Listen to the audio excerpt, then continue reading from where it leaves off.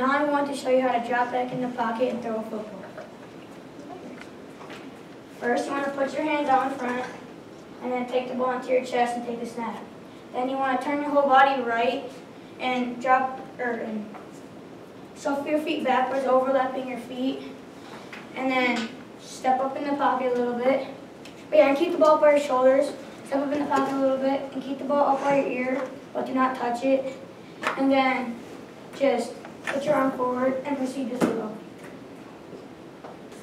Now I'm going to show you how to do it in fast motion.